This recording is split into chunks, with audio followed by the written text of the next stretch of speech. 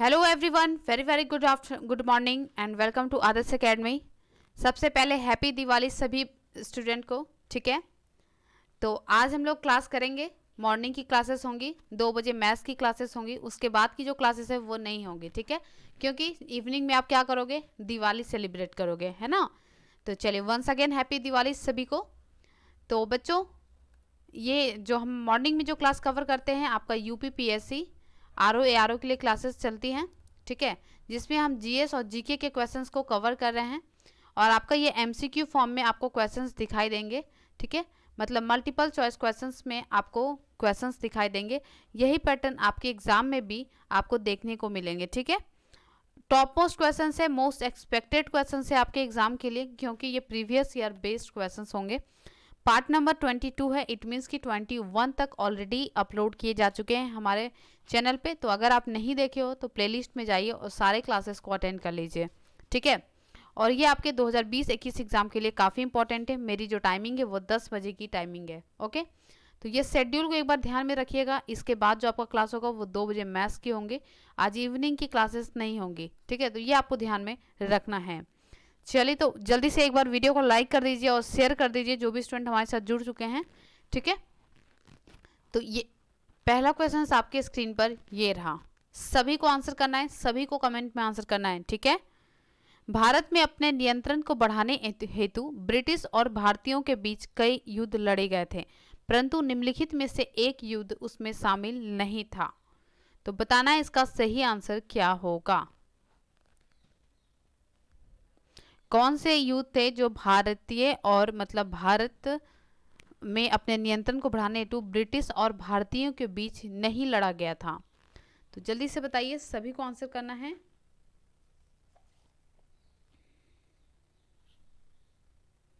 तो यहाँ पे जो आपका होगा, एंग्लो और बांग्ला, ठीक है? एंग्लो और बांग्ला जो है, ये युद्ध नहीं लड़े गए थे। अगर हम बात करेंगे कि एंग्लो और बांग्ला युद्ध नहीं लड़ा गया था, आंग्ल और मराठा युद्ध जो लड़ा गया था, प्रथम आंग्ल मराठा युद्ध लड़ा गया था फिर एंग्लो एंड सिख भी लड़ा गया था, एंग्लो एंड मैसूर भी लड़ा गया था, लेकिन डी जो है यहाँ पे सही आंसर होगा। नेक्स्ट वन, स्वर्ण मंदिर किस झील के किनारे पर स्थित है? स्वर्ण मंदिर किस झील के किनारे पर अवस्थित है?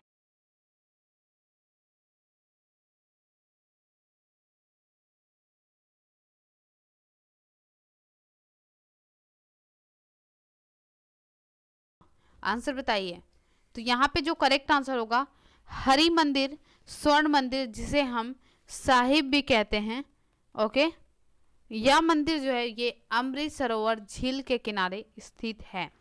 और इसकी जो न्यू है, स्वर्ण मंदिर की, वो 1588 में गुरु अर्जुन देव ने लाहौर के एक सूफी संत थे, उनका नाम था मियाँ मीर मियाँ मीर द्वारा रखवाई थी। तो मियाँ मीर ने नींव रखी थी, लेकिन किनके द्वारा रखा गया था, ये इम्पोर्टेंट है। गुरु अर्जुन देव। गुरु अर्जुन देव ने 1588 में मियाँ मीर के द्वारा जो है, जो कि एक लाहौर के एक सूफी संत थे, उनके द्वारा इसकी नींव जो है, वो रखी गई थी। ठीक है? सिखों के पाँचवें गुरु थे ये अर्जुन देव। सिखों के पाँचवें गुरु थे, पाँचवें नंबर के गुरु थे तो ये आपको ध्यान में रखना है। नेक्स्ट वन पानीपत के तीसरे युद्ध में अहमद शाह अब्दाली से किसने युद्ध किया था? तो ये आपका क्वेश्चन नंबर थ्री है बच्चों। सभी को आंसर बताना है, ठीक है? कमेंट में आंसर सभी को बताना है, सभी के आंसर देखे जा रहे हैं। ओके तो जल्दी से बताइए इसका आंसर क्या होगा?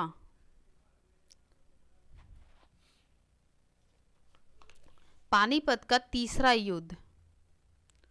तो यहाँ पे जो आपका करेक्ट आंसर होगा कि पानीपत के तीसरे युद्ध अहमद शाह अब्दाली और मराठा के बीच में लड़ा गया था। तो ये कब लड़ा गया था? तो ये 14 जनवरी 1761 में आपका अहमद शाह अब्दाली और मराठों के बीच में ये युद्ध हुआ था। मराठा सेना का जो नेतृत्व किए थे, मराठा सेना का नेतृत्व वो किए थे सदाशिव राव भाव। ठीक है तो सदाशिव राव भाव इसका नेतृत्व किए थे। और मराठे बुरी तरह से इसमें पराजित हुई थी। ओके तो ये आपको ध्यान में रखना है। तो इसीलिए काशीराज पंडित के शब्दों में ये कहा गया कि पानीपत का तृतीय युद्ध मराठों के लिए प्रलयकारी सिद्ध हुआ। तो यूँ कह सकते हैं कि मराठा के यहाँ पे पराजय हुई थी। ओके बच्चों, चलिए नेक्स्ट वन निम्नलिखित में से किस संधि के परिणाम स्वरूप तृतीय एंग्लो मैसूर युद्ध समाप्त हो गया था?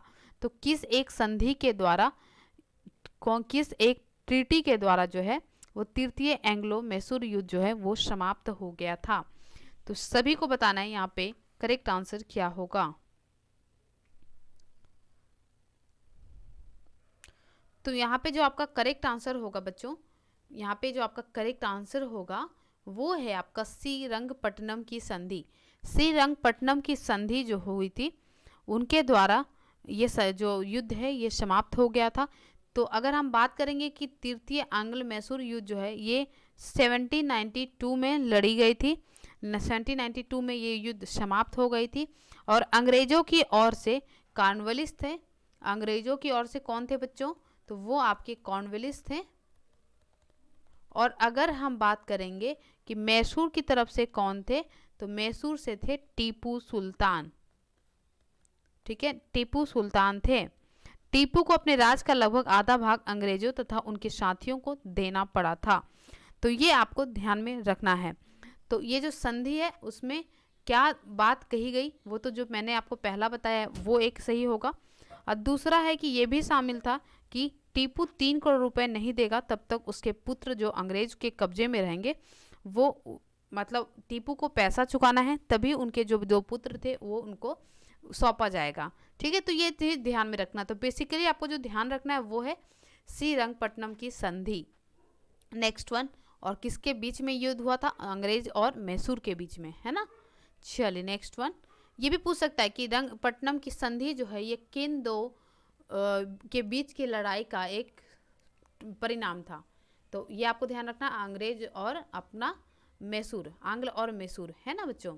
चलिए नेक्स्ट वन चिलिया वाला युद्ध कब लड़ा गया था? सभी को आंसर करना है। वीडियो अच्छा लग रहा है तो लाइक करिए और शेयर करना मत भूलिए, ठीक है? तो जल्दी से बताइए कमेंट में आंसर क्या होगा।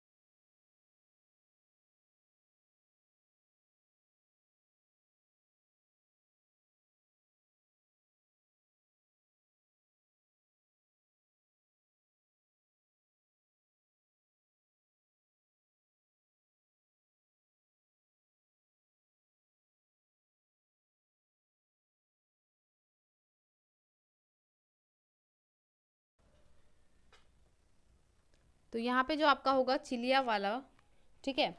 ये जो हुआ था 1849 में हुआ था बच्चों सी इज़ था करेक्ट आंसर तो चिलिया वाला युद्ध 13 जनवरी 1849 में हुआ था। इस युद्ध में अंग्रेज़ी सेना का नेतृत्व जनरल ऑफ़ ने किया, तथा सिख सेना शेर सिंह के नेतृत्व में लड़ी गई थी। तो चिलिया वाला जो है किनके किनके बीच में हुआ? तो ये हुआ अंग्रेज़ी सेना और सिख सेना। तो इन दोनों के बीच में ये युद्ध हुआ था। तो यह युद्ध अनिर्णित रहा। ना तो किसी की जीत हुई, ना तो किसी की हार हुई। अनिर्णित थी और इस युद्ध के समय भारत का गवर्नर जनरल कौन था, ये आपको ध्यान में रखना है। तो इस युद्ध के समय भारत के गवर्नर जनरल कौन थे बच्चों? अगर आपको पता है तो जल्दी से इसका आंसर बताइए। तो वो थे लॉर्ड डलहौजी। ठीक है? तो ये आपको याद में रखना है। Next one. तो चिलिया वाला युद्ध वेरी इंपॉर्टेंट है। हो सकता है यहाँ से आपको प्रश्न दिखाई दे। तो इसलिए आपको ये याद में रखना है। तो ये अंग्रेज़ी और सिख सेना के बीच में ये युद्ध लड़ा गया था। नेक्स्ट वन ब्रिटिश द्वारा प्लासी युद्ध किसके नेतृत्व में लड़ा गया था? प्लासी युद्ध। ये तो काफ़ी इंपॉर्टेंट है, प्लासी युद्ध। तो आई थिंक इसका आंसर आप सभी करोगे। मैं उम्मीद कर सकती हूँ कि मेरे स्टूडेंट इसका आंसर करें। तो प्लासी युद्ध तो सबसे पहली बात है कि ये कब लड़ा गया था बच्चों? तो ये आपका 23 जून 1757 में लड़ा गया था और रॉबर्ट क्लाइव के नेतृत्व में अंग्रेज़ों ने बंगाल के नवाब सिराजुद्दौला को पराजित किया था। तो प्लासी का युद्ध जो था, ये किनके किन के बीच में हुआ था बच्चों? तो एक तरफ़ तो अंग्रेज़ थे, दूसरे तरफ़ कौन थे? सिराजुद्दौला, जो कि बंगाल के नवाब थे। तो इन दोनों के बीच में युद्ध हुआ, जिसमें सिराजुद्दौला पराजित होते हैं और फिर बंगाल के नवाब जो है, वो मिर जाफ़र को बनाया जाता है। ठीक है? तो ये आपको ध्यान में रखना है। तो वर्तमान अगर प्लासी के बारे में बात करें तो ये पश्चिम बंगाल में है। पश्चिम बंगाल में है। वर्तमान नाम इसका प्लासी है। ओके। और ये युद्ध ये मैदान जो है, पश्चिम बंगाल राज्य के नदिया ज़िले में, भागीरथी नदी के किनारे स्थित है। तो कहाँ पर है ये? वेस्ट बंगाल में है, नदिया ज़िले के भागीरथी नदी के तट पर यह प्लासी नामक स्थान है, जहाँ पर ये युद्ध हुआ, जिसमें सिराजुद्दौला पराजित हुए थे। नेक्स्ट वन आधुनिक भारतीय नव जागृति का जनक किसे माना जाता है? सभी को आंसर बताना है। आज भी क्वेश्चन जो हो रहा है ना, ये काफ़ी इंपॉर्टेंट क्वेश्चन है। ठीक है तो सभी को आंसर बताना है, इसका आंसर क्या होगा?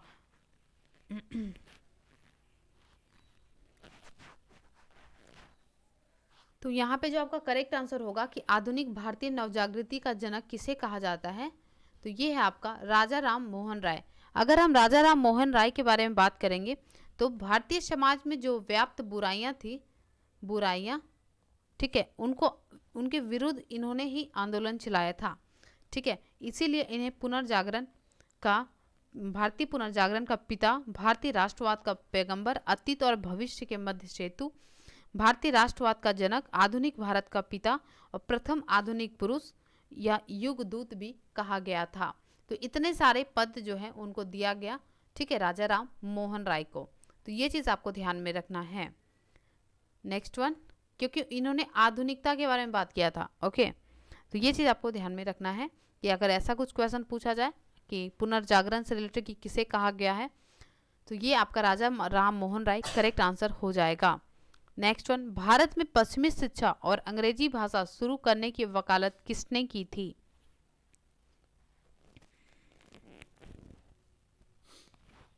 ये जो कैरेक्टर थे, जो थे, उनका कहना था कि हम पाश्चात्य शिक्षा के द्वारा ही, पश्चिमी शिक्षा के द्वारा ही हमारे ज्ञान की जो अंधकार है, अंधेरा है, वो हम दूर कर सकते हैं। तो इस टाइप की जो बात है वो राजा राम मोहन राय ने किया था। ठीक है? कि पाश्चात्य शिक्षा पर उन्होंने बल दिया था। ठीक है? तो ये आपको ध्यान में रखना है। हो, ओके? तो हो सकता है आपके एग्ज़ाम में ये क्वेश्चन पूछ लिया जाए। नेक्स्ट वन ब्रह्म समाज के संस्थापक कौन थे? ये तो वेरी इंपॉर्टेंट क्वेश्चन है। आज हम जितना भी क्वेश्चन कर रहे हैं ना, ये सब काफ़ी इंपॉर्टेंट क्वेश्चन है। तो ये सभी को याद में रखना है। और जो आपको नहीं पता है, आप कॉपी में नोट डाउन कर लीजिए या स्क्रीनशॉट ले लीजिए बच्चों। लेकिन बाद में कॉपी में नोट डाउन ज़रूर कर लीजिएगा। ठीक है? तो ब्रह्म समाज की जो संस्थापक हैं, वो कौन है? तो वो हैं आपके राजा राम मोहन राय। ठीक है? तो यहाँ पे ये आपका करेक्ट आंसर होगा। और इसकी स्थापना मूलतः ब्रह्म समाह के रूप में 1882 में हुई थी। पहले जो थी, ब्रह्म क्या थी? ब्रह्म सभा, जिसकी स्थापना 1828 में हुई थी। ठीक है? और राजा राम मोहन राय ने किया था। ओके नेक्स्ट वन मतलब पहले ब्रह्म सभा, फिर ब्रह्म समाज हो गया था वो। राम किस मिशन का गठन किसने किया था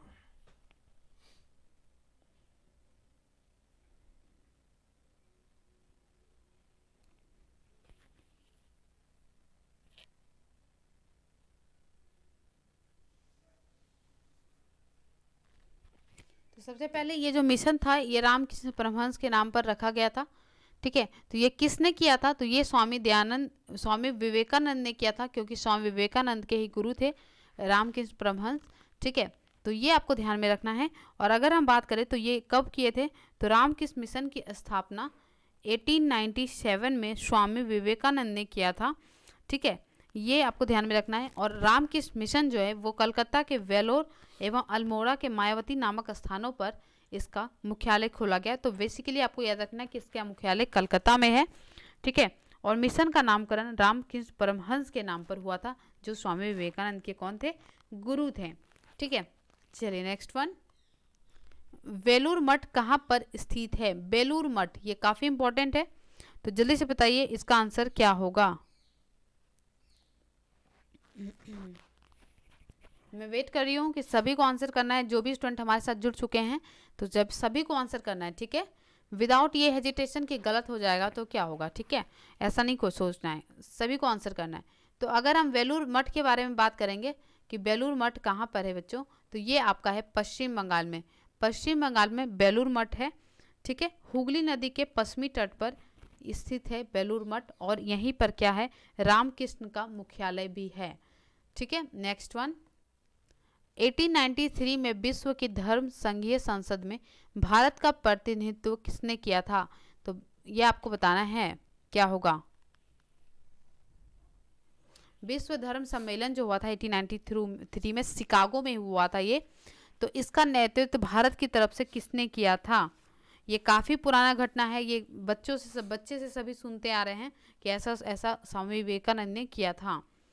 तो 1893 में जो शिकागो में हुआ था विश्व धर्म सम्मेलन, कहाँ पर हुआ था? शिकागो में। तो विश्व धर्म सम्मेलन में वहाँ पर इन्होंने सुप्रसिद्ध भाषण दिया था, ठीक है? तो ये आपको किसने दिया था? स्वामी विवेकानंद ने। उस टाइम ये कितने साल के थे? तीस साल के थे, ठीक है? नेक्स्ट वन निम्नलिखित में से किसने हिंदू धर्म के कई अनुष्ठानों के खिलाफ प्रचार किया था? जैसे कि मूर्ति पूजा, जन्म से जाति पशु बलि और वेदों को पढ़ने के लिए महिलाओं पर प्रतिबंध। तो बताना है कि किसने इसके खिलाफ प्रचार प्रसार किया था?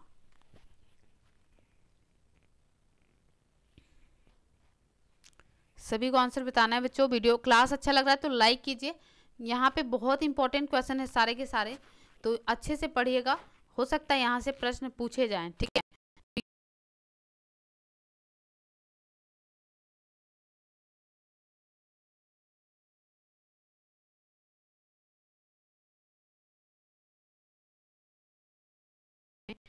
बम्बई में आर्य समाज की उन्होंने स्थापना की थी। तो आर्य समाज की स्थापना 1875 में बम्बई में आर्य समाज की स्थापना हो रही है। ठीक है, ये आपको यहाँ पे ध्यान में रखना है। और इसका उद्देश्य क्या था कि वैदिक धर्म की शुद्ध रूप से पुनः स्थापना करना। ठीक है, इनका कहना था कि वैदिक धर्म को फिर से लाया जाए, फिर से इसकी स्थापना की जाए। और वेदों की और चलो का नारा जो है, इनके द्वारा ही दिया गया था। क्या? वेदों की और लोटो। वेदों की और चलो या फिर लोटो।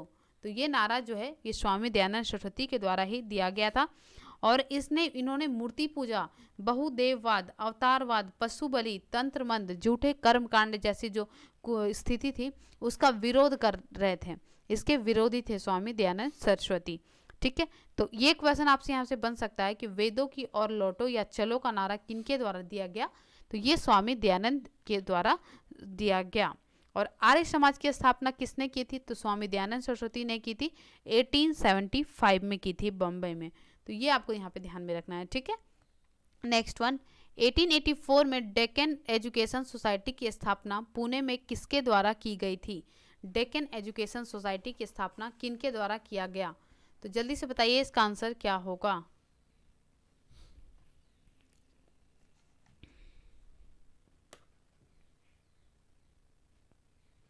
तो डेकन एजुकेशनल सोसाइटी की स्थापना जो है, ये किसने किया था बच्चों? तो ये विष्णु शास्त्री चिपलूनकर और बाल गंगाधर तिलक के द्वारा किया गया था। तो 1880 में 1880 में 1880 में डेकन एजुकेशन सोसाइटी की स्थापना न्यू इंग्लिश स्कूल के प्रारंभ से ही इसकी स्थापना हो चुकी थी। लेकिन औपचारिक रूप से ये 1884 में ये शुरू की गई। ठीक है? तो ये आपको ध्यान में रखना है। तो इससे जुड़े हुए व्यक्ति थे विष्णु शास्त्री चिपलूनकर और बाल गंगाधर तिलक जो थे, इसके संस्थापक थे, इस संस्था के संस्थापक थे। तो 1880 में जब आपको याद रखना है कि न्यू इंग्लिश स्कूल जब शुरू हुआ था तो हो सकता है यहाँ से प्रश्न बन जाए बच्चों, ठीक है? New English school. तो न्यू इंग्लिश स्कूल की स्थापना 1880 में हुई थी, तभी से इसकी न्यू रख दी गई थी डेकन एजुकेशन सोसाइटी की। लेकिन औपचारिक रूप से इसकी शुरुआत 1884 इट मीन्स की चार साल के बाद हो रही थी। और इस संस्था, इस सोसाइटी के जो संस्थापक थे, ये विष्णु शास्त्री चिपलूनकर बाल गंगाधर तिलक, एक और व्यक्ति थे एम बी नाम जोशी एम बी नाम जोशी तो दो व्यक्ति तो अपने क्वेश्चन में ही देख लिया, और तीसरे जो व्यक्ति थे, वो थे एम बी नाम जोशी ये आपको ध्यान में रखना है। नेक्स्ट वन आत्मसम्मान का अभियान एक ऐसा अभियान है जिसका लक्ष्य ऐसा समाज निर्मित करना है जहाँ पिछड़ी जातियों को भी समान मानव अधिकार प्राप्त हो। इसकी शुरुआत किसने की थी?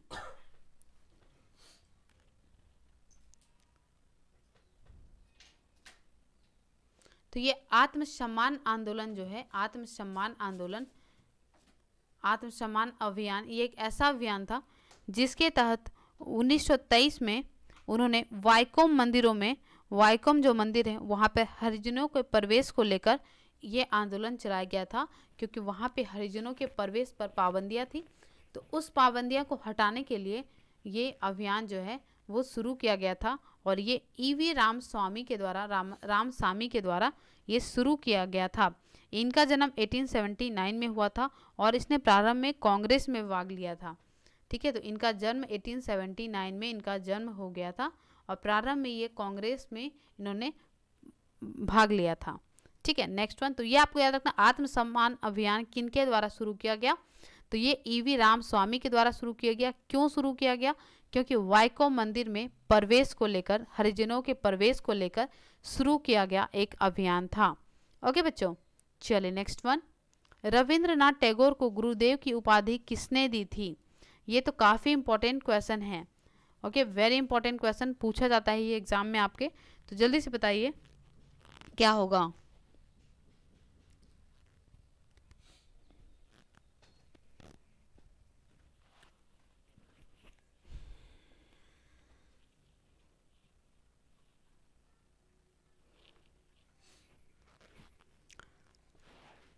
तो यहाँ पे जो आपका करेक्ट आंसर होगा, सभी को आंसर करना है, ठीक है? कुछ क्वेश्चन ऐसे होते हैं जो मैं एक्सपेक्ट कर सकती हूँ कि सारे स्टूडेंट इसका आंसर करें। तो यहाँ पे आपका हो जाएगा महात्मा गांधी।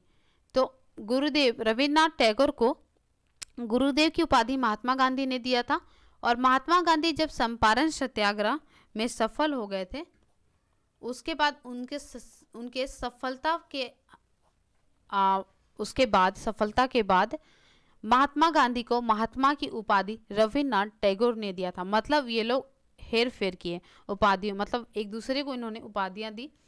तो गुरुदेव की उपाधि रविन्द्रनाथ टैगोर को महात्मा गांधी ने दी और महात्मा की उपाधि रविन्द्रनाथ टैगोर ने दिया था। ठीक है तो ये चीज़ आपको ध्यान में रखना है। नेक्स्ट किस व्यक्ति को सामान्यतः गुरुदेव नाम से जाना जाता था? तो ये तो पता ही है सबको, अभी हमने देखा। तो यहाँ पे करेक्ट आंसर होगा रविंद्रनाथ टैगोर। रविन्द्रनाथ टैगोर यहाँ पे सही आंसर हो जाएगा। ठीक है? नेक्स्ट वन एक बार याद रखिए, गुरु रविन्द्रनाथ टैगोर जो थे 1901 में इन्होंने शांति निकेतन में एक विद्यालय प्रारंभ किया और ये विश्व विख्यात हुआ, पूरे विश्व में विश्व विख्यात हुआ। बाद में ये विश्वविद्यालय में भी परिवर्तित हो गया तो शांति निकेतन की स्थापना। 1901 में इन्हीं के गुरुनाथ टैगोर के, रविन्द्रनाथ टैगोर के द्वारा ही शुरू किया गया और बाद में ये विश्वविद्यालय भी बना, जो विश्व स्तर पर विख्यात हुआ। और इनकी जो पुस्तक है, गीतों की पुस्तिका 1913 में उनकी गीतों की पुस्तिका जो थी, गीतांजलि, को साहित्य के लिए नोबेल पुरस्कार मिला। तो 1913 में जो पुस्तक इनके द्वारा लिखी गई, गीतांजलि, ये गीतों की पुस्तक थी और साहित्य के लिए इन्हें क्या मिला? नोबेल पुरस्कार मिला। ठीक है बच्चों तो ये आपको ध्यान में रखना है। तो गीतांजलि किनके द्वारा लिखा गया है? तो ये आपको रविन्द्रनाथ टैगोर के द्वारा लिखा गया है, जिसे नोबेल पुरस्कार भी मिला। नेक्स्ट वन वह भारत कौन है जिसने स्वतंत्रता के लिए लड़ने के लिए भारतीय महिलाओं की जागृति में एक महत्वपूर्ण भूमिका निभाई और उन्हें भारत की कोकिला के नाम से भी कहा जाता है, नाइट एंगल ऑफ़ इंडिया। तो नाइट एंगल ऑफ़ इंडिया के बारे में अगर हम देखेंगे तो ये तो बचपन से हम लोग जीके के बुक में पढ़ते आए हैं कि नाइट एंगल ऑफ़ इंडिया किसे कहा जाता है तो ये आपका सरोजनी नायडू हो जाएगा। सरोजनी नायडू जो थी, वो एक कवित्री थी, राष्ट्रवादी नेत्री थी।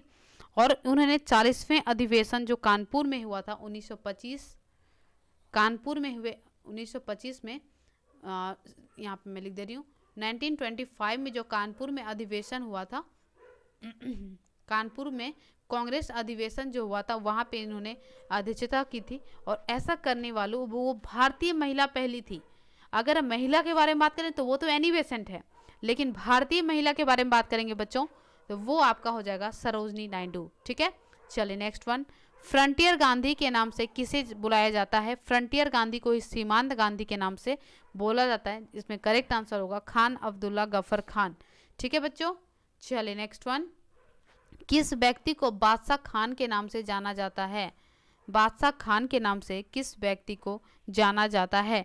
सभी को आंसर बताना है। कमेंट में आंसर सभी को करना है। वीडियोस लाइव जैसा ही चल रहा है तो आपकी किसी भी क्वेरी हो, उसका आंसर आपको किया जाएगा। एज सुन एज पॉसिबल आपको आंसर रेलिवेंट क्वेश्चन का आंसर किया जाएगा। तो यहाँ पे आपका हो जाएगा करेक्ट आंसर फ्लोरेंस सॉरी किस व्यक्ति को बादशाह खान तो यहाँ पे Khan Abdullah Gaffar Khan C is the correct answer ठीक है? सी आपका बिल्कुल करेक्ट आंसर हो जाएगा। Next lady with the lamp के नाम से किसे जाना जाता है? तो लेडी विथ द लैब के नाम से फ्लोरिस्ट नाइटेंगल को जाना जाता है, ठीक है? और the lady with the lamp के नाम से दीपक वाली महिला, the lady with the lamp मतलब दीपक वाली महिला। तो ये किसी फ्लोरिस नाइटेंगल को जाना जाता है इस नाम से। नेक्स्ट, ऐसे जियो जैसे कि यह आपका आखिरी दिन हो, ऐसा सीखो कि आप हमेशा जीवित रहेंगे। यह शब्द किसके द्वारा कहे गए? तो यहाँ पे करेक्ट आंसर हो जाएगा महात्मा गांधी। ठीक है? तो याद रखिएगा, बहुत ये हम आम बोलचाल में भी हम ये यूज़ करते हैं कि ऐसे जियो कि जैसे कि ये आपका आखिरी दिन हो, आखिरी पल हो तो ये आपका महात्मा गांधी के द्वारा ऐसा कहा गया था। सहिष्णुता के अभ्यास में उसका दुश्मन ही उसका सबसे अच्छा शिक्षक होता है। In practice of tolerance one's enemies the best teacher यह शब्द किसने कहा था? तो याद रखना, तिब्बती धर्म गुरु जो थे, दलाई लामा। क्या थे? तिब्बती धर्मगुरु दलाई लामा थे, जिनके द्वारा, इन्हीं के द्वारा ये चीज़ कहा गया था। नेक्स्ट वन भारत का राष्ट्रीय प्रतिज्ञा के रचयिता कौन है? ये तो काफ़ी इंपॉर्टेंट क्वेश्चन है। सभी को इसका आंसर बताना है कि क्या होगा। भारत की राष्ट्रीय प्रतिज्ञा के रचयिता कौन है? तो यहाँ पे आपका पीडमारी वेंकट सुबाराव होगा। तो सुबाराव द्वारा तेलुगु भाषा में रचा गया था 1962 में। 1962 में रचा गया था और ये तेलुगु भाषा में रचा गया था। नेक्स्ट निम्नलिखित में से अनुसरण किए जाने वाले धर्म एवं पत्रिका पुस्तक की कौन सी जोड़ी जो है, ये असंगत है। तो बच्चों, कुरान इस्लाम से संबंध है गुरु ग्रंथ साहिब, सिख धर्म से संबंध है लेकिन यहाँ पे जो जैन धर्म से संबंधित उपनिषद है, ये जैन धर्म से ना संबंधित होते हुए जो उपनिषद है, वो किस धर्म से संबंधित है तो ये संबंधित है वैदिक धर्म से। ठीक है? ये आपको धर्म समझना है। तो उपनिषद वैदिक धर्म से संबंधित है, ना कि जैन धर्म से। तो C is the correct answer next Manusmriti का अंग्रेज़ी में अनुवाद किसने किया था? काफ़ी इंपॉर्टेंट क्वेश्चन है बच्चा। अगर आपको नहीं पता था तो आप इसको लिख लो। जितने भी इंपॉर्टेंट क्वेश्चन जो आपको नहीं पता है, आप लिख लो। ठीक है? क्लासेस अच्छा लग रहा है तो लाइक कीजिए। ओके वीडियो को लाइक कीजिए और शेयर कीजिए जितना हो सके। ठीक है? तो मनुस्मृति का अंग्रेज़ी अनुवाद कई बार हो चुका था। तो ये किया गया था किसके द्वारा? तो ये किया गया बी जॉर्ज वुलर के द्वारा। नेक्स्ट हिंद स्वराज के लेखक कौन हैं? हिंद स्वराज के लेखक कौन थे? सभी को बताना है इसका आंसर क्या होगा। तो जब, जो महात्मा गांधी थे, वो इंग्लैंड से दक्षिण अफ्रीका आ रहे थे, इंग्लैंड से दक्षिण अफ्रीका, तभी उन्होंने हिंद स्वराज लिखे और उसने अपने, वहाँ पे अपने पूरे यात्रा के बारे में उन्होंने बताया उसमें, जब वो पानी के जहाज़ में वो यात्रा कर रहे थे, इंग्लैंड टू अफ्रीका, दक्षिण अफ्रीका, तभी उन्होंने हिंद स्वराज लिखा था। ठीक है? ये आपको ध्यान में रखना है। नेक्स्ट। भारतीय स्वतंत्रता संग्राम में सहायता हेतु निम्नलिखित में से कौन से संगठन की स्थापना भारत के बाहर नहीं की गई? तो यहाँ पे आपको ध्यान में रखना है, जो करेक्ट आंसर होगा वो आपका सी, हिंदुस्तान समाजवादी गणतंत्र संस्था। C is the correct answer next निम्नलिखित में से एक व्यक्ति ब्रिटिशों द्वारा फांसी पर चढ़ाया गया स्वतंत्रता संग्राम क्रांतिकारी नहीं है। तो यहाँ पे बताना है, जैसे कि तेईस मार्च 1931 में भारत के तीन सपूतों को फांसी की सजा सुनाई गई, ठीक है? और इनमें से जैसे भगत सिंह राजगुरु और सुखदेव, उनको फांसी दी गई वैसे तो ये घोषणा हुई थी अक्टूबर 1930 में, लेकिन फांसी दे दी गई 23 मार्च 1931 में। तो इन तीनों को फांसी दी गई थी, लेकिन इसमें चंद्रशेखर आज़ाद नहीं थे, ये बच निकले थे, ठीक है? हालाँकि उन्हें बाद में फिर गोली मार दिया गया था, मुठभेड़ में इनको गोली मार दिया गया था इलाहाबाद के अल्फ्रेड पार्क में, ठीक है? नेक्स्ट, हिंदुस्तान